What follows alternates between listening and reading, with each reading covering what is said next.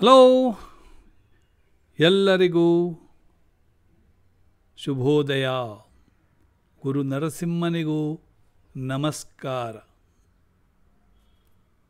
ಈಗ ನಿಮಗೆ ಒಂದು ನವಾಂಶದ ಬಗ್ಗೆ ಚಿಂತನೆಯನ್ನು ಮಾಡಬೇಕಂತಿದ್ದೇನೆ. ಆಯಿತಾ? ಚಿಂತನೆ. ನವಾಂಶ ಎನ್ನುವುದು ನಮ್ಮ ಪತ್ನಿಯ ಅಥವಾ ಪತಿಯ ಕುಂಡಳಿಯೋ? ಹೆಚ್ಚಾಗಿ ಪತ್ನಿಯ ಕುಂಡಳಿಯೋ ಅಂತ ಬರ್ತದೆ. ಪತಿಯ ಬಗ್ಗೆ ಬರುವುದೇ ಇಲ್ಲ. ಈ ರೀತಿಯ ಪ್ರಶ್ನೆಗಳು ನಮ್ಮ ಮಂಡ್ಯ ಒಳಗೆ ಬರಲೇಬಾರದು. ಆದರೂ ಬರ್ತದೆ. ಕಾರಣ, ನಾವು ಹೆಚ್ಚು ಓದಿದ ಕೂಚು ಭಟ್ಟರಲ್ಲವೇ ಹಾಗಾದರೆ ಕೂಚು ಭಟ್ಟರೆಂದರೆ ಯಾರು ಅಂತ ಕೇಳಬಹುದು.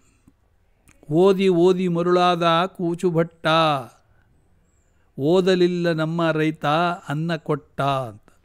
ಈ ಓದಿದವರೆಲ್ಲ ಹಾಗೆ ಏನಂತ ಕೇಳಿದರೆ ನಾನು ಸರ್ ನಾಲ್ಕು ವರ್ಷದಿಂದಲೂ ಪಿ ಎಸ್ ಐಗೆ ಕಟ್ತಾನೇ ಇದ್ದೇನೆ ಕಟ್ತಾನೇ ಇದ್ದೇನೆ, ಆಗ್ತಾನೇ ಇಲ್ಲ. ನಾನು ಪರ್ ಎಕ್ಸಾಮ್ ಬರಿತಾನೇ ಇದ್ದೇನೆ ಆದರೂ ಡಿಸ್ಟಿಂಕ್ಷನ್ನಲ್ಲಿ ಪಾಸ್ ಆಗಿದ್ದೇನೆ, ಆದರೂ ಕೂಡ ನನಗೆ ಇನ್ನು ಮುಂದೆ ಯಾವ ಜಾಬು ಸಿಗ್ತಾ ಇಲ್ಲ. ಡಿಸ್ಟಿಂಕ್ಷನ್ ಪಾಸಾಗಿದೆಯಾ ಪಿ ಎಸ್ ಐ ಎಕ್ಸಾಮಿಗೂ ಕಟ್ತಾನೇ ಇದೆಯಾ? ಅಂದಮೇಲೆ ನಿನ್ನ ಮಂಡೆ ಒಳಗೆ ಒಳ್ಳೆ ಬುದ್ಧಿವಂತಿಕೆ ತನ ಇದೆಯಲ್ಲ. ಯಾತಕ್ಕೆ ಅದು ಸದುಪಯೋಗ ಆಗುವುದಿಲ್ಲ ಅಂತ ಕೇಳಿದರೆ, ಆ ಮಂಡೆ ಒಳಗೆ ನೆಗೆಟಿವ್ ಥಿಂಕಿಂಗ್ಸ್ ಜಾಸ್ತಿ ತುಂಬಿಕೊಂಡಿದೆ. ನಾವು ಬುದ್ಧಿವಂತರು. ನಾವು ಯಾರು? ನಾವು ಬುದ್ಧಿವಂತರು. ನಾವು ಆಲಸ್ಯರು. ಅದಕ್ಕೆ ಜ್ಯೋತಿಷ್ಯಗಾರರೇನ ಮದ್ದು ಕೊಡ್ಲಿಕ್ಕೆ ಆಗ್ತದೋ? ನನ್ನ ಆಲಸ್ಯತನವನ್ನು ನಾನೇ ಹೋಗಲಾಡಿಸ್ಕೊಳ್ಳಬೇಕು ವಿನಾ. ಜ್ಯೋತಿಷ್ಯಗಾರರನ್ನು ಕೇಳಿದರೆ ಏನೂ ಪ್ರಯೋಜನ ಇಲ್ಲ. ಆಲಸ್ಯತನಕ್ಕೆ ಏನು ಮಾಡಬೇಕು? ಬೇಗ ಹೇಳ್ಬೇಕು. ನಮ್ಮ ತಂದೆ ಯಾವಾಗ ಐದು ಗಂಟೆಗೆ ಹೇಳದೇ ಇದ್ದರೆ ಕುಂಡೆ ಮೇಲೆ ಕೋಲು, ಗಾಳಿ ಕೋಲಿಂದ ಹೊಡಿತಿದ್ರು. ಹೇಳೋ ಹೇಳೋ, ಗದ್ದೆಗೆ ಹೋಗ್ಬೇಕೋ? ಅಂತ. ಐದು ಗಂಟೆ ಫಾ ಠಾಣ್ ಅಂತ ಹೇಳ್ತಾ, ಓದು ಫಸ್ಟ್ ಓದು, ಅರ್ಧ ಗಂಟೆ ಓದು ಅಂತ. ಆರು, ಆರೂವರೆವರೆಗೆ ಓದ್ಲಿಕ್ಕೆ ಬಿಡ್ತಾರೆ, ಆಮೇಲೆ ಗದ್ದೆಗೆ ಬಂದು ಅಲ್ಲಿ ಕೂಳಿ ಕೇಳು. ಕೂಳಿ ಅಂದರೆ ಗೊತ್ತಾ, ಭತ್ತವನ್ನು ಇದಾದ ಮೇಲೆ ಕಟ್ ಮಾಡಿದ ಮೇಲೆ ಕೆಳಗಡೆ ಬೀಳ್ತದೆ ಇಷ್ಟೊಂದು. ಆ ಕೂಳಿ ಕೂಳಿ ಕಿತ್ಕೊಂಬ, ಹೊರಳಿ ಕೇಳು, ಉದ್ದು ಕೇಳು ಅಡಿತೆಗೆ ಒದ್ದು ಮಾಡು, ಗೊಬ್ಬರ ಬಿಕ್ಕು ಗೊಬ್ಬರ ಹೋರು ನೋಡಿ, ಈ ಕೆಲಸವೆಲ್ಲ ನೀವೆಲ್ಲಿ ಮಾಡಿದ್ದೀರಿ? ನಿಮಗೆ ಬರೇ ಪ್ರಶ್ನೆ ಕೇಳೋದು ಬರ್ತದೆ. ನಾರಾಯಣ ಬಲಿ ರುದ್ರಹೋಮ ತಿಲೋಹೋಮ ನಾನು ಮಾಡ್ತೀನಿ, ಆದರೆ ಪಿಂಡದಾನ ಮಾಡುವುದಿಲ್ಲ. ಯಾರು ಹೇಳಿದ್ದು? ಅದನ್ನು ನಿಮ್ಮ ಪುರೋಹಿತರನ್ನು ಕೇಳಬೇಕು. ಪಿಂಡದಾನ ಮಾಡದೇ ಇದ್ದರೆ ಇದು ಮೂರು ಮಾಡೋದೇ ಇಲ್ಲ. ನಾರಾಯಣ ಬಲಿ ಅಂದರೆ ಅದೇ. ಇದು ಅಪರ ಕಾರ್ಯಕ್ರಮ. ಇದೆಲ್ಲ ಕೇಳುವಂಥ ಪ್ರಶ್ನೆ ಅಲ್ಲ. ಅಷಡ್ಢಾಳ ಪ್ರಶ್ನೆಗಳನ್ನು ದಯವಿಟ್ಟು ಕೇಳಬೇಡಿ. ಅದರ ಅದು ಏನು ಹೇಳ್ತದೆ ಅಂದರೆ ನೀವು ಬುದ್ಧಿವಂತರಾಗಿಯೂ ನೀವು ಹೆಡ್ಡರ್ ಅಂತ ನಮಗೆ ಸೂಚನೆ ಕೊಡ್ತದೆ. ಅಷ್ಟೇ. ಇನ್ನು ಹೇಳ್ತಾರೆ, ತಂದೆ ತಾಯಿ ಇಬ್ಬರು ಇದ್ದಾರೆ, ನಾನು ಪಿಂಡದಾನವನ್ನು ಮಾಡಬಹುದೇ? ಅರೆ, ಪಿಂಡದಾನ ಮಾಡೋದು ಯಾರು? ಅಪರ ಕಾರ್ಯಕ್ರಮ, ನಿಮ್ಮ ಅಮ್ಮನ, ಅಪ್ಪನ ಬಜ್ಜ ಮಾಡೋದು ಯಾರು? ನಾನಾ? ನೀವು ಮಾಡಬೇಕು. ಅಂದಮೇಲೆ ಏನು ಮಾಡಬೇಕು? ಪಿಂಡದಾನ ಮಾಡಲೇಬೇಕು. ಅದು ಕೇಳುವಂಥ ಪ್ರಶ್ನೆ ಅಲ್ಲ. ಯಾರು ಮಾಡಬೇಕು? ಒಂದು ಮನೆಯಲ್ಲಿರುವ ಹಿರಿಯ ಇಲ್ಲ ಕಿರಿಯ? ನಿಮ್ಮ ತಂದೆ ತಾಯಿ ಸಾಯದೇ ಇದ್ದರೆ ನೀವು ಮಾಡಲಿಕ್ಕೆ ಅಧಿಕಾರವೇ ಇಲ್ಲ. ಆವಾಗ ಯಾರು ಮಾಡಬೇಕು? ನಿಮ್ಮ ತಂದೆ ಮಾಡಬೇಕು. ಆ ತಂದೆ ಯಾರಾಗಬೇಕು? ಅವರ ಅಮ್ಮನಿಗೆ ದೊಡ್ಡ ಮಗ ಅಥವಾ ಕಿರಿಯ ಮಗನಾಗಬೇಕು. ನೋಡಿ, ನಾವು ನಾವು ಪ್ರಶ್ನೆಯನ್ನು ನಾವೇ ಹುಟ್ಟು ಹಾಕ್ತಾ ಇದ್ದೇವೆ. ಅದು ನಮ್ಮ ಬುದ್ಧಿವಂತಿಕೆತನ. ನಾನು ಅದಕ್ಕೆ ಹೇಳೋದು ಕೂಚು ಭಟ್ಟರಲ್ಲದೆ ಇದ್ದರೆ ಈ ಪ್ರಶ್ನೆಗಳು ಬರುವುದೇ ಇಲ್ಲ. ಓದಿ ಓದಿ ಮರುಳಾದ ಕೂಚು ಭಟ್ಟ ಆಲಸ್ಯತನವನ್ನು ಹೇಗೆ ಹೋಗಲಾಡಿಸ್ಬೇಕು ಅಂದರೆ ಒಂದು ಗಂಟೆ. ನಾನು ಇವತ್ತು ಎರಡೂವರೆಗೆ ಎದ್ದಿದ್ದೇನೆ ಒಂದು ಗಂಟೆ ಯೋಗ, ಪ್ರಾಣಾಯಾಮ. ಎರಡೂವರೆಗೆ ಎದ್ದು ದೊಡ್ಡ ಸಂಖ್ಯೆ ಅಲ್ಲ. ಆದರೆ ನಿದ್ದೆ ಬರ್ತಾ ಇಲ್ಲ. ನಿದ್ದೆ ಬರ್ತಾ ಇಲ್ಲ ಅಂತ ಸುಮ್ಮನೆ ಹೊಡ್, ಹೊಡ್ಕಲಿಕ್ಕೆ ಆಗ್ತದೋ? ಸ್ವಲ್ಪ ಇಂಥ ಒಳ್ಳೆಯ ಕಾರ್ಯಕ್ರಮವನ್ನು ಕೊಡೋಣ ಅಂಥೇಳಿ ಬರಿತಾ ಇದ್ದೆ. ನೋಡಿ ಆದ್ದರಿಂದ ನಿಮಗೆ ವೀಡಿಯೋದ ಮೇಲೆ ವೀಡಿಯೋ ಬರಲಿಕ್ಕೆ ಶುರುವಾಯಿತು. ಆಲಸ್ಯತನವನ್ನು ನಾವೇ ಹೋಗಿ ಹೋಗಲಾಡಿಸ್ಬೇಕು. ನಮಗೆ ನಾವೇ ಹೆಚ್ಚು ಕೆಲಸವನ್ನು ಕೊಡಬೇಕು. ಓದಿ, ಬರೇ ನಾ ಇಂತಿಷ್ಟು ಅಟೆಂಪ್ಟ್ ಮಾಡಿದ್ದೆ ಅನ್ನೋದಕ್ಕಿಂತ ಆ ಅಟೆಂಪ್ಟಿನಲ್ಲಿ ಯಾವ ರೀತಿಯ ನೀವು ಶಕ್ತಿಯನ್ನು ಹಾಕಿದ್ದೀರಿ ಅನ್ನೋದು ಇಂಪಾರ್ಟೆಂಟ್ ತಿಳ್ಕೊಳ್ಳಿ. ಆಯಿತಾ? ಮತ್ತು ಪ್ರತಿಯೊಂದು ಜ್ಯೋತಿಷ್ಯದಲ್ಲಿ ಸಿಗುವುದಿಲ್ಲ ನಿಮಗೆ. ಜ್ಯೋತಿಷ್ಯದಲ್ಲಿ ಈ ವ, ಈಗ ಈ ವರ್ಷ ನಿಮಗೆ ಗುರುಬಲ ಇದೆ, ಮದುವೆ ಆಗುತ್ತೆ ಅಂತ ಹೇಳ್ತೇವೆ. ಆದರೆ ಅಲ್ಲಿ ಮದುವೆ ಆಗೋದಿಲ್ಲ ಏನು ಸರ್? ನಮಗೆ ಜಾಬೇ ಸಿಗಲಿಲ್ಲ. ನಾವಿನ್ನು ಸೆಟ್ಲ್ ಆಗಲಿಲ್ಲ. ಅದು ನಿನ್ನ ಕರ್ಮ. ಜಾಬ್ ಸಿಗಲಿಲ್ಲ ಸೆಟ್ಲ್ ಆಗಲಿಲ್ಲ ಅನ್ನೋದು ನಿನ್ನ ಕರ್ಮ. ಹೆಚ್ಚಿನವರು ಜಾಬ್ ಜಾಬ್ ಇಲ್ಲದೆ ಮದುವೆ ಆಗಿ ಮದುವೆ ಆದ ನಂತರ ಜಾಬ್ ಸಿಕ್ಕಿದ್ದು ಉಂಟು. ಯಾತಕ್ಕೆ ಹೇಳ್ತಾ ಇದ್ದೀನಿ ಅಂದರೆ, ನೋಡಿ ನೀವು ಮಾಡಿದ ಕೂಪಕ್ಕೆ ನೀವೇ ಬೀಳ್ತೀರಾ? ಅದನ್ನು ಪ್ರಶ್ನೆಯನ್ನು ಕೇಳೋದು ಕಡಿಮೆ ಮಾಡಿ ಚಿ ನೀವು ಅದನ್ನು ಚಿಂತನೆ ಮಾಡಬೇಕು. ಇನ್ನು ಏನು ಏನು ಹೇಳಿದ್ದಾರೆ? ಯಾಕೆ ಹೇಳಿದ್ದಾರೆ ಅನ್ನೋದು ಮಸ್ಟ್ ಪ್ರಶ್ನೆ ಕೇಳೋದು ಭಾಳ ಈಸಿ. ಒಂದು ವಿಡಿಯೋ ಹಾಕಿದ ತಕ್ಷಣ ನಮಗೆ ಪ್ರಶ್ನೆ ಇದು ಬರ್ತದೆ. ಆ, ಅಲ್ಲಿ ಒಂದು ಪ್ರಶ್ ಕ್ವಶನ್ ಹಾಕೇ ಹಾಕ್ತಾರೆ. ಆ ಕ್ವಶನ್ ಕೇಳೋದೇ ಒಂದು ಅವರಿಗೆ ಒಂದು ಖುಷಿ. ಏನೂ ಇಲ್ಲದೆ ಆದರೆ ನಮಸ್ತೆ ಸರ್, ಗುಡ್ ಮಾರ್ನಿಂಗ್ ಸರ್ ಅಂದ್ಬಿಡ್ತಾರೆ. ಅರೆ ಬೈ, ನಾನು ಪ್ರತಿಯೊಂದು ನೋಡಬೇಕಲ್ಲ? ನನಗೆ ಸಮಯ ವ್ಯರ್ಥ ಆಯ್ತಲ್ಲ? ಅದನ್ನು ನನಗೆ ಕಮೆಂಟೇ ಇಲ್ಲದೆ ಇದ್ದರೆ ನನಗೆ ಭಾಳ ಖುಷಿ ಆಗ್ತದೆ. ಝೀರೋ ಕಮೆಂಟ್ ಅಂದರೆ ನನಗೆ ಭಾಳ ಖುಷಿ. ಆಯಿತಾ? ಇದು ಯಾಕೆ ಹೇಳ್ತಾ ಇದ್ದೀನಿ ಅಂದರೆ ನೀವು ಪ್ರತಿಯೊಂದು ವೀಡಿಯೋವನ್ನು ಎರಡೆರಡು ಸಾರಿ ನಾನು ರಿಪೋರ್ಟ್ ಬರಿತೇನೆ ಇಮಿಡಿಯೇಟ್ಲಿ ಪ್ರಶ್ನೆ ಬಂದು ನನಗೆ ಫೋನ್ ಬಂದಾಯ್ತು. ಸರ್, ಏನಂತೆ? ಏನಂತೆ ನನ್ನ ಜಾತಕ? ಅರೆ ಕನ್ನಡದಲ್ಲೇ ಬರೆದುಕೊಳಿಸಿದ್ದೇನೆ ಅದನ್ನು ಓದೋದು ಬಿಟ್ಟು ಅದನ್ನು ಎರಡು ಮೂರು ಬಾರಿ ಓದನ್ನು ಬಿಟ್ಟು ಮತ್ತೆ ನನ್ನನ್ನು ಕೇಳಿದರೆ, ಏನು ಪ್ರಯೋಜನ? ನಾನು ಕನ್ನಡದಲ್ಲಿ ಬರೆದು ಕೊಟ್ಟದ್ದು. ಸ್ವಲ್ಪ ಮಂಡೆ ಖರ್ಚು ಮಾಡಿಯಪ್ಪ. ಓದಿ, ಆಮೇಲೆ ಕೇಳಿ. ಕೇಳಬಾರ್ದು ಅಂತಿಲ್ಲ. ಅದರ ಅರ್ಥ ಆಗದೇ ಇರೋದು ಪಾಯಿಂಟ್ ಮಾತ್ರ ಕೇಳಬೇಕು. ಆಯಿತಾ? ಇಲ್ಲ ಅಂದರೆ ಸುಮ್ಮನೆ ಪ್ರಶ್ನೆ ಕೇಳಬೇಡಿ. ಅದರಲ್ಲಿ ಕ್ಲಿಯರ್ ಕಟ್ ಹೇಳಿರ್ತಾನೆ.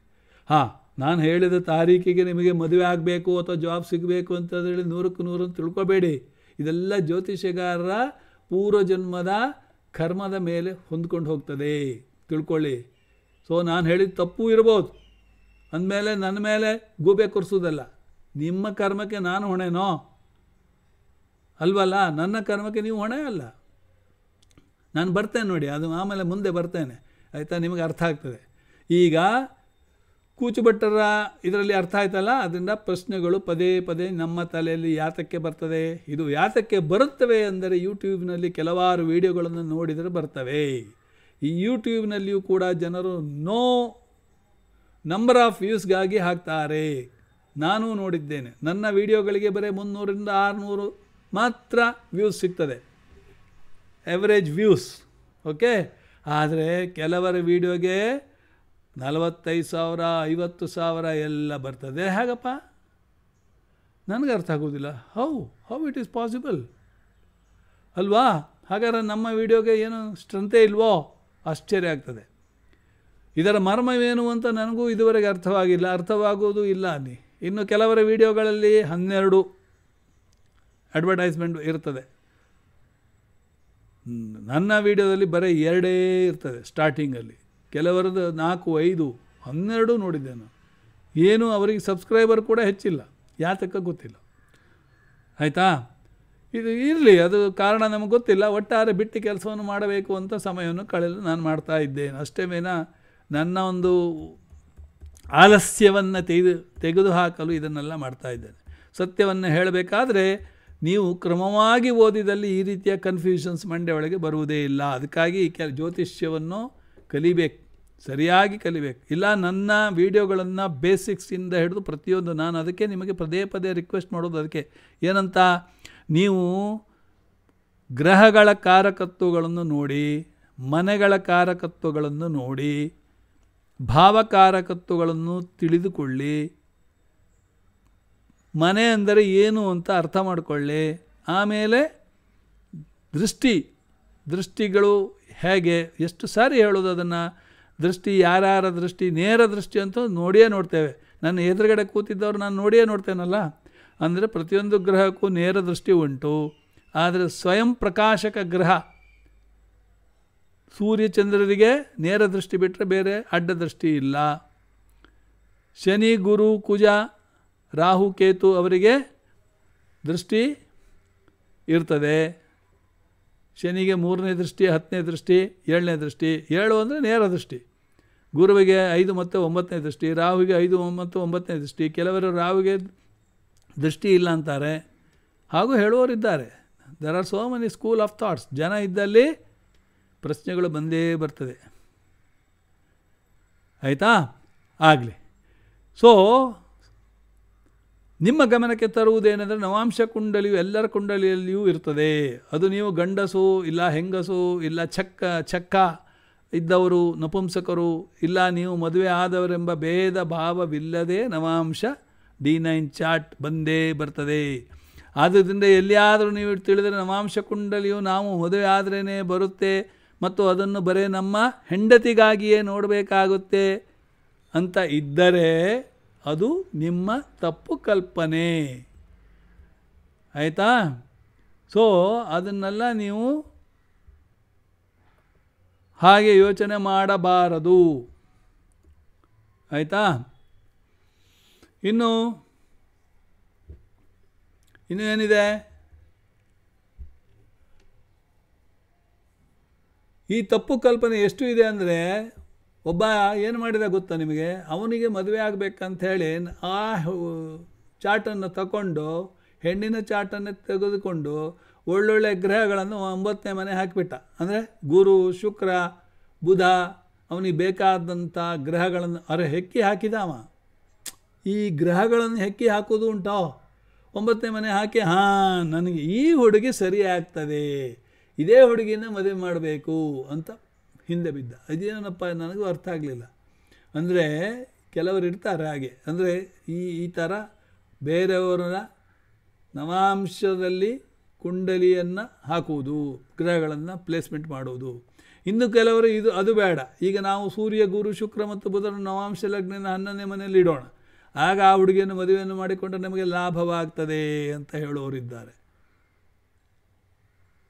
ಅರೇ ಈ ನವಾಂಶವನ್ನು ನೀವು ಏನು ಬೇಕಾದರೂ ಮಾಡ್ಬೋದಾ?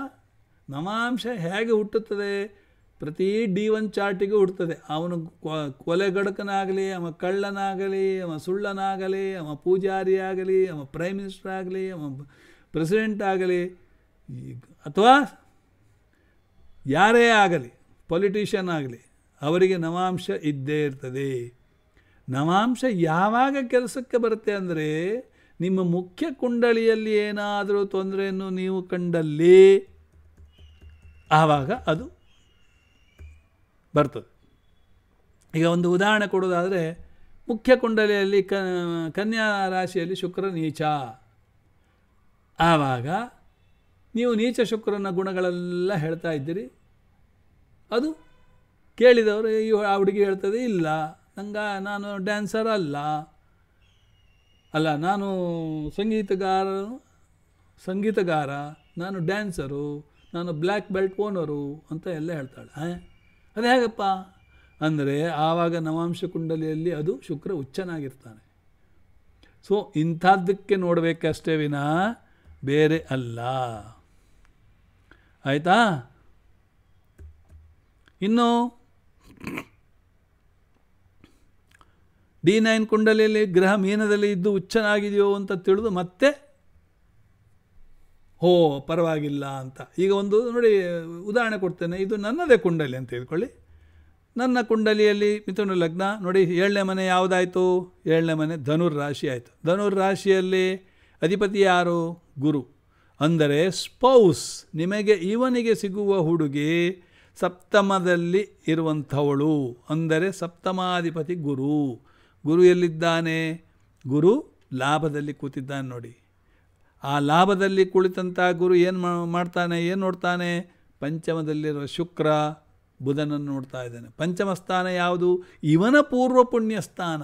ಅಂದರೆ ಪ್ರಾರಬ್ಧ ಕರ್ಮದ ಮನೆ, ಹಿಂದಿನ ಜನ್ಮದ ಕರ್ಮದ ಮನೆ. ಅಂದರೆ ಕನೆಕ್ಟಿವಿಟಿ ಏನಾಯಿತು? ಲಾಭದಾಯಕ. ಗುರು ಇವನ ಕರ್ಮಕ್ಕೆ ಕನೆಕ್ಟ್ ಆಗಿದ್ದಾನೆ. ಇನ್ನು ಇವನು ಲಗ್ನದ ಎರಡನೇ ಮನೆ ಯಾರು? ಕರ್ಕರಾಶಿ ಚಂದ್ರ. ನೋಡಿ, ಇದು ಚಂದ್ರ, ಇದು ಕರ್ಕರಾಶಿ ಕೇತು ಇದ್ದಾನೆ. ನಾನು ಅದ್ರ ಬಗ್ಗೆ ಹೇಳಲಿಲ್ಲ ಈಗ. ಆ ಚಂದ್ರ ಎಲ್ಲಿದ್ದಾನೆ? ವ್ಯಯಸ್ಥಾನದಲ್ಲಿದ್ದಾನೆ. ಹೇಗಿದ್ದಾನೆ? ಉಚ್ಚನಾಗಿದ್ದಾನೆ ಮತ್ತೇನು? ಪುಷ್ಕರಾಂಶದಲ್ಲಿದ್ದಾನೆ. ಮತ್ತೇನು? ನವಾಂಶದಲ್ಲಿ ವರ್ಗೋತ್ತವನಾಗಿದ್ದಾನೆ. ಓಹೋ, ಹಾಗಾದರೆ ಈತ ಕೊಡುಗೈದಾನಿ. ಕೈಯಲ್ಲಿದ್ದದ್ದನ್ನೆಲ್ಲ ಬರುಗುಡಿ ಮಾಡುವಂಥ ಪ್ರಾಣಿ. ಕೊಡುಗೈದಾನಿ, ದಾನ ಮಾಡುವ ಪ್ರಾಣಿ. ಅಂದರೆ ಯಾರಿಗೆ ಕೊಡ್ತಾನೆ? ಫ್ಯಾಮಿಲಿ ಮೆಂಬರ್ಸ್ ನೋಡಿ, ಕುಟುಂಬದ ಸದಸ್ಯರುಗಳಿಗೆ ಕೊಡ್ತಾನೆ. ನೋಡಿ, ಹೇಗೆ? ಹೌದಾ? ಅಂದರೆ ಎರಡನೇ ಮನೆ. ಅಂದರೆ ಆ ಕುಟುಂಬದ ಸದಸ್ಯರಲ್ಲಿ ಇವನ ಹೆಂಡತಿಯು ಸೇರಿದವಳು. ಆದ್ದರಿಂದ ಹೆಂಡತಿಯಾದವಳು ಯಾರೇ ಆಗಲಿ, ಇವನ ಕರ್ಮಕ್ಕೆ ಕನೆಕ್ಟ್ ಆಗಿದ್ದರೂ ಕೂಡ ಅವಳಿಗೆ ಪ್ರತಿಫಲವಾಗಿ ಹಣ ಸಿಗ್ತದೆ. ನೋಡಿ, ಯಾವ ರೀತಿಯಲ್ಲಿ ಅನಾಲಿಸಿಸ್ ಮಾಡಬೇಕು? ಈ ರೀತಿ ಮಾಡಬೇಕು. ಆಯಿತಾ? ಸೊ ನೀವು ನಿಮ್ಮ ಕುಂಡಲಿಯನ್ನು ನೋಡಿ, ಅಲ್ಲಿ ಕೆಲವರದ್ದು ನೋಡಿದ್ದೇನೆ. ಓ ವೇಸ್ಥಾನದಲ್ಲಿ ಯಾವುದು ಸಪ್ತಮಾಧಿಪತಿ ಆರನೇ ಮನೆಯಲ್ಲಿ ಇರುವುದು. ಅಂದರೆ ಮದುವೆಯಾದ ಹೆಣ್ಣು ರೋಗ ರುಜಿನಗಳನ್ನು ಮದುವೆಯಾದ ಮೇಲೆ ಪಡೆಯುತ್ತಾಳೆ ಅಂತ ನಾವು ಹೇಳ್ತೇವೆ. ಹಾಗಾದರೆ ಅವ, ಅವಳಿಗೆ, ಅವರಿಗೆ ನವಾಂಶ ಕುಂಡಲಿ ಬರುವುದಿಲ್ವೋ? ಬರ್ತದೆ.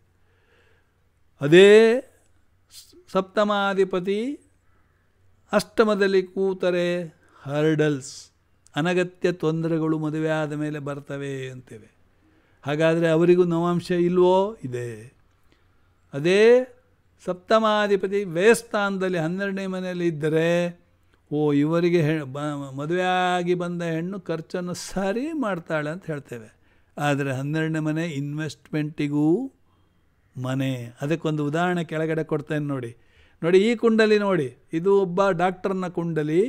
ಹನ್ನೆರಡು ಸಪ್ತಮಾಧಿಪತಿ ಯಾರು? ಸು, ತುಲಾಲಗ್ನ. ತುಲಾಲಗ್ನ ಸಪ್ತಮಾಧಿಪತಿ ಮಂಗಲ್. ಸಪ್ತಮ ಸ್ಥಾನ ಮೇಷ. ಮಂಗಲ್ ಹನ್ನೆರಡನೇ ಮನೆ. ಓ ಅಯ್ಯೋ ಕತಿ ಕೋಚ್ಚಾಯ್ತು ಈ ಹುಡುಗನಿಗೆ ಬರುವ ಹೆಣ್ಣು ಹನ್ನೆರಡನೇ ಮನೆಯಲ್ಲಿದೆ ಅಂದರೆ ಇವನನ್ನು ಪೂರ ಬೆಗರ್ ಮಾಡಿಬಿಡ್ತಾರೆ ಅಂತ ಹೇಳ್ಬೋದು ನೀವು. ಹಾಂ? ಸೊ, ಎಷ್ಟೊಂದು ತಂದೆ ತಾಯಿಗಳು ಮದುವೆ ಮಾಡೋದಿಲ್ಲ ಬಿಡ್ತಾರೆ. ಆಮೇಲೆ ಮೂವತ್ತೆರಡು, ಮೂವತ್ತ್ಮೂರು ವರ್ಷ ಆದಗಳು ಉಪಾಧ್ಯಾಯರೇ, ನಿಮ್ಮ ವಿಡಿಯೋಗಳನ್ನು ನಾನು ಯೂಟ್ಯೂಬ್ನಲ್ಲಿ ನೋಡಿದೆ. ಭಾಳ ಚೆನ್ನಾಗಿ ಬರ್ತದೆ. ವಿವರಣೆ ಕೊಡ್ತೀರಾ? ನನ್ನ ಮಗಳಿಗೆ ಒಂದು ಮದುವೆ ಆಗ್ತಾಯಿಲ್ಲ ನೋಡಿ, ಹನ್ನೆರಡು ಕುಂಡಲಿಯನ್ನು ತಂದು ಎಲ್ಲ ವಾಪಸ್ ಕಳಿಸಿದ್ದೇವೆ ಅಂತಾರೆ. ಹಾಂ? ಕಾರಣ ಏನು? ಇದೇ ಕಾರಣ, ಇಂಥದ್ದೇ ಕಾರಣ. ಸೊ ಅದಕ್ಕೆ ಹೇಳ್ತಾ ಇರೋದು, ಎಷ್ಟೋ ಸರಿ ಹೇಳಿದ್ದೇನೆ, ತಂದೆ ತಾಯಿಗಳು ಗೇಟ್ ಕೀಪರ್ ಆಗಿ ಕೆಲಸ ಮಾಡೋದು ಬಿಡಿ. ಇನ್ನೊಬ್ರು ಹೇಳಿ, ಇನ್ನು ಕೆಲವರು ಹೇಳ್ತಾರೆ, ನನಗೆ ಇರೋದು ಒಂದೇ ಹೆಣ್ಣು, ಮತ್ತು ಯಾರೇ, ನನಗೆ ಹತ್ತು ಹೆಣ್ಣಿದ್ದಾರಾ? ಅಂದರೆ, ಅವರ ತಿಳುವಳಿಕೆಯು ತಪ್ಪಾಗಿರುತ್ತೆ. ಸ್ವಲ್ಪ ಕಾಂಪ್ರಮೈಸ್ ಮಾಡಲೇಬೇಕು. ನಿಮ್ಮ ಹುಡುಗಿಗೆ ಮನ್ಮತ ಬರೋದಿಲ್ಲ, ಅಂಥ ಮನ್ಮತನ ಕಟ್ಟಿದ್ರು ಕೂಡ ಆ ಹುಡುಗಿ ಕೊನೆಗೆ ಡೈವರ್ಸ್ ಆಗಿ ಮನೆಯಲ್ಲೇ ಕೂತಿರ್ತಾಳೆ. ಅದು ನಿಮ್ಗೆ ಗೊತ್ತೇ ಇಲ್ಲ. ಯಾಕೆ? ಲಗ್ನದಲ್ಲಿ ರಾಹು, ಸಪ್ತಮದಲ್ಲಿ ಕೇತು. ರಾಹು ಕೇತುವಿನ ಆ್ಯಕ್ಸಿಸ್ ಇದ್ದರೆ ಏನಾಗ್ತದೆ? ಗೊತ್ತೇ ಇದೆ ನಿಮಗೆ. ಅದು ಆಗಬೇಕಂತಿಲ್ಲ, ನಾನು ಹೇಳಿದ್ದಲ್ಲಿ ಆಗಬೇಕಂತಿಲ್ಲ. ಈಗ ಶುಕ್ರ ಮತ್ತು ರಾಹು ಒಟ್ಟಿಗಿದ್ದರಲ್ಲಿ ಹೆಣ್ಣಿನ ಸಂಘ ಇರಬಹುದು ಅಂತ ಹೇಳ್ತೇವೆ. ಅದು ಇರಲೇಬೇಕಂತೇಳಿ ಅಲ್ಲ. ನಾವು ಒಂದು ಊಹನೆ ಹಾಕ್ತೇವೆ. ರಾಹು ಅಲ್ವಾ? ಮಾಯಾ ಪ್ರಪಂಚದ ಗ್ರಹ ಅಂತೇಳಿ. ಅದು ಆಗಬೇಕಂತೇನಿಲ್ಲ ಈ ಜ್ಯೋತಿಷ್ಯ ಅನ್ನೋದು ನಾನು ಅದಕ್ಕೆ ಮೊದಲೇ ಹೇಳಿದ್ದೇನೆ ಸ್ಟ್ಯಾಟಿಸ್ಟಿಕಲ್ ಬೇಸ್ಡ್ ನೂರು ಜಾತಕವನ್ನು ನೋಡಿ ವಿವರಣೆ ಮಾಡಿದರೆ ನೂರು ಜಾತಕದಲ್ಲಿ ಎಂಬತ್ತು ಸರಿ ಬರ್ತದೆ. ಅಥವಾ ಅರವತ್ತೈದು ಸರಿ ಬರ್ತದೆ. ಮೂವತ್ತೈದು ಸರಿ ಬರೋದಿಲ್ಲ ಅದಕ್ಕೆ ನಾವು ಅರವತ್ತೈದು ಪರ್ಸೆಂಟೇ ಕೊಡೋದು. ಆಯಿತಾ? ಇಲ್ಲಿ ಏನಾಯಿತು? ಮಂಗಲ್. ಆದರೆ ನಿಮಗೇನು? ಹಾಗೆ ಕಾಣ್ತದೆ. ಇಲ್ಲಿ ಇನ್ವೆಸ್ಟ್ಮೆಂಟ್ ಮಂಗಲ್ಯಾರು ಭೂಮಿಕಾರಕ, ಅದು ನ ನವಾಂಶದಲ್ಲಿ ನೀವು ನೋಡಿದರೆ ಗೊತ್ತಾಗ್ತದೆ. ನವಾಂಶದಲ್ಲಿ ಮಂಗಲ್ ಎಲ್ಲಿದ್ದಾನೆ? ನವಾಂಶದಲ್ಲಿ ಮಂಗಲ್ ನೋಡಿ, ಎಲ್ಲಿದೆ ನೋಡಿ? ನವಾಂಶದಲ್ಲಿ ಮಂಗಲ್ ಎಲ್ಲಿದ್ದಾನೆ? ಲಗ್ನದಿಂದ ಸಪ್ತಮದಲ್ಲಿ, ರಾಹುವಿನ ಜೊತೆಯಲ್ಲಿದ್ದಾನೆ. ಆಯಿತಾ? ಸೊ ರಾಹುವಿನ ಜೊತೆಯಲ್ಲಿ, ಅಂದರೆ ಪಾರ್ಟ್ನರ್ಶಿಪ್ಪಿನ ಮನೆಯಲ್ಲಿದ್ದಾನೆ. ಸೊ ಆದ್ದರಿಂದ ಏನಾಯಿತು Rahu? Connected to foreign foreign investment ಜಾಸ್ತಿ ಇದೆ. ಅದರಿಂದ ಇವರಿಗೆ ಫಾರಿನ್ ಇನ್ವೆಸ್ಟ್ಮೆಂಟೇ ಜಾಸ್ತಿ ಇದೆ. ಸೊ ಮುನ್ನೂರು ಕೋಟಿ ತ್ರಾಣಿ ಇವರೀಗ, ಆಯಿತಾ? ಯಾತಕ್ಕೆ ಹೇಳ್ತಾ ಇದ್ದೆ? ನಿಮಗೆ ಇದೆಲ್ಲ ತಿಳ್ಕೊಬೇಕಾಗಿತ್ತು. ತಿಳ್ಕೊಳ್ಳಿ, ನಿಮ್ಮನ್ನು, ನಿಮ್ಮ ನವಾಂಶ ಕುಂಡಲಿಯು ಕೆಟ್ಟದಿದ್ದರೂ ಕೂಡ ನೀವು ಮದುವೆ ಆಗ್ತೀರಾ? ನಿಮ್ಮ ಡಿ ಒನ್ ಚಾರ್ಟ್ನಲ್ಲಿ ಸಪ್ತಮಾಧಿಪತಿ ಅಷ್ಟಮದಲ್ಲಿದ್ದರು ಷಷ್ಠದಲ್ಲಿದ್ದರು ವೇದಲ್ಲಿದ್ದರೂ ಕೂಡ ನೀವು ಮದುವೆ ಆಗ್ತೀರಾ? ನಾನೇ ಮಾಡಿಸಿದ್ದೇನೆ. ಅಷ್ಟಮದಲ್ಲಿರುವ ಮಂಗಲ್, ಹೆಣ್ಣಿಗೆ ಅಷ್ಟಮದಲ್ಲಿ ಮಂಗಲ್, ಮಂಗಲ್ಯ ಭಾಗ್ಯಕ್ಕೆ ಕೊತ್ತು. ಅಂದರೆ ಅವಳು ಮದುವೆ ಆದರೆ ಗಂಡ ಸಾಯ್ತಾನಂತ ಹೇಳುವವರು ಇದ್ದಾರೆ. ಆದರೆ ನಾನು ಹೇಳಿದೆ ಇವಳಿಗೆ ಲವ್ ಮ್ಯಾರೇಜ್ ಈಗ ಮದುವೆ ಆಗಿ ಎರಡು ಫಸ್ಟ್ ಕ್ಲಾಸ್ ಮಕ್ಕಳನ್ನ ತೆಗೆದು ನೋಡಿ ಇಪ್ಪತ್ತೈದು ವರ್ಷ ಆಗೋಯ್ತು. ಆ ಮಕ್ಕಳಿಗೂ ಇಪ್ಪತ್ತು ವರ್ಷ, ಇಪ್ಪತ್ತೆರಡು ವರ್ಷ ಆಗಿತ್ತು ನೋಡಿ. ಭಾಳ ಅವ್ರು ಮೊನ್ನೆ ಬೆಂಗಳೂರಿಗೆ ಬಂದಾಗ ಈ ಅಂಕಲ್ ಇಲ್ಲದಿದ್ರೆ ನನ್ನ ಮದುವೆನೇ ಆಗ್ತಿರ್ಲಿಲ್ಲ ಅಂತೇಳಿ. ಈಗ ನನ್ನ ತಂದೆ ಕೂಡ ನಕ್ಬಿಟ್ಟು ಆವಾಗ ನಾನು ಹೇಳಿದ್ದು ಲವ್ ಮ್ಯಾರೇಜ್ ಅಂದರೆ. ಆವಾಗ ಮೊನ್ನೆ ತಂದೆನೂ ಹೇಳ್ದ ಒಬ್ಬ ಉಪಾಧ್ಯಾಯರ ಬಾಯಲ್ಲಿ ಏನೋ ಉಂಟು ಅಂತ. ಎಷ್ಟು ವರ್ಷ ಹಿಂದೆ ಹೇಳಿದ ಕಥೆ ಇದು. ಆಯಿತಾ? ಒಂದಂತೂ ನಿಶ್ಚಿತ ಮದುವೆ ಆಗುವವರೆಗೆ ಡಿ ಒನ್ ಚಾರ್ಟ್ ಮದುವೆ ಆದಮೇಲೆ ಡಿ ನೈನ್ ಚಾರ್ಟ್ ಅಂತ ಎಲ್ಲೂ ಬರೆದಿಲ್ಲ, ಮತ್ತೆ ಹೇಳೋದು ಇಲ್ಲ. ಅದು ನಮ್ಮಂಥ ಅರ್ಧ ಜ್ಯೋತಿಷ್ಯವನ್ನು ಕಲಿತಂಥ ಅಂಡೆ ಪಿರ್ಕಿ ಮಂಡೆ ಪಿರ್ಕಿ ಆದಂಥ ಜ್ಯೋತಿಷ್ಯರು ಹೇಳುವಂಥ ಮಾತು. ಈಗ ಕೆಲವರು ನಗೆ ಆಡ್ಬೋದು, ಇವರು ನೋಡು ತಮ್ಮನ್ನು ಕೂಡ ಅದೇ ಸಾಲಿನಲ್ಲಿ ಹಾಕಿದ್ದಾರೆ ಎನ್ನುವ ಪರಿಜ್ಞಾನವೂ ಇಲ್ವಲ್ಲ.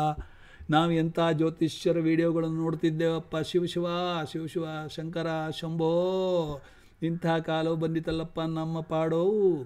ಇವರಿಗೆ ಯಾವಾಗ ಅರವತ್ತರ ಅರಳು ಮುರಳು ಶುರುವಾಯ್ತಪ್ಪ ಅಂತ ಬೊಬ್ಬೆ ಇಡಬೇಡಿ. ನಾನು ಬೇಕಂತಲೇ ನಿಮ್ಮನ್ನು ನನಗೆ ಪಾಟಲಿಗೆ ಹೇಳಿದಷ್ಟೇ. ನನಗೆ ಗೊತ್ತಿದೆ ನನ್ನ ಹತ್ತಿರ ಯಾವ ರೀತಿಯ ಮಾತನಾಡಬೇಕೆನ್ನುವ ಕಲೆ ಇದೆ ಎನ್ನುವುದು. ಆಯಿತಾ?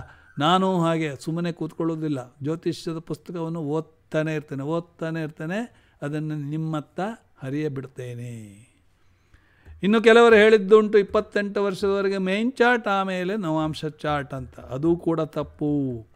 ನವಾಂಶ ಎನ್ನುವುದು ನಮ್ಮ ಹಿಂದಿನ ಜನ್ಮದ ಕರ್ಮ ಫಲವನ್ನು ಸೂಚಿಸುತ್ತದೆ. ಅದೇ ಲಗ್ನ ಕುಂಡಲಿಯು ನಿಮ್ಮ ಮೇಲಿನ ಪ್ರತಿಬಿಂಬವು ಜನರ ಮಂಡೆ ಒಳಗೆ ಯಾವ ರೀತಿಯಲ್ಲಿ ಇದೆ ಅನ್ನುವುದು ತೋರಿಸುತ್ತದೆ. ಇದಿಷ್ಟೋ ನನ್ನ ವಿಶ್ಲೇಷಣೆ, ನನ್ನ ಚಿಂತನೆ. ನಿಮಗೆ ಪಸಂದಾದರೆ ಹಿಡಿಸಿದರೆ ಶೇರ್ ಮಾಡಿ, ಲೈಕ್ ಮಾಡಿ, ಆಮೇಲೆ ಸಬ್ಸ್ಕ್ರೈಬ್ ಮಾಡಿ. ಆಯಿತಾ? ಇಷ್ಟನ್ನು ಹೇಳಿ ಇಲ್ಲಿಗೆ ಮುಗಿಸ್ತೇನೆ. Nine four eight one one five six five four zero ಈ ಥರ ಕೊಟ್ಟರೂ ಕೂಡ ನಿಮ್ಮ ಮೊಬೈಲ್ ನಂಬರ್ ಹಾಕಿ ಸರ್ ಅಂತ ಹೇಳುವವರಿದ್ದಾರೆ ಯಾಕಂದರೆ ಅವರು ಇಷ್ಟು ವೀಡಿಯೋ ನೋಡೋದೇ ಇಲ್ಲ.